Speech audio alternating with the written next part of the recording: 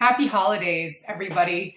Uh, I filmed the video yesterday on the update saying that the Biden administration might extend the payment pause. However, yesterday, right after we filmed it, about a couple hours later, the news came out that the administration extended the payment pause until May 1st of 2022. Um, the Biden administration um, initially presented a ton of pushback initially saying this would be the last extension until the end of January, which means loans would get kicked back in in February.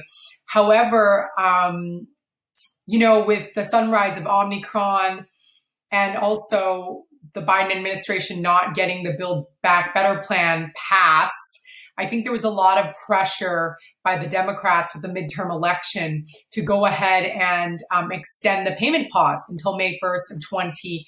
22. So that's really good news um, for those who are obviously paying, which is awesome.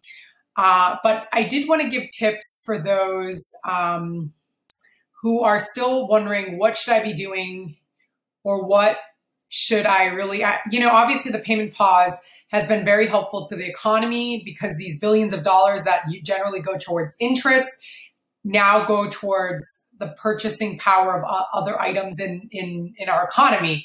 Um, however, if you are going to be kicked into repayment and paying like up higher than 10% of your income, and there's like a something like a quarter of Americans are paying 30% of their salary towards your student loans, you really should have a plan before we get kicked into repayment. So that's what we at LoanSense can help you do, especially if you have if you have other goals like buying a home or really any financial goal that um, you go through an underwriting process that determines how much debt you have because your student loans, even while not in repayment, affect that debt to income, right?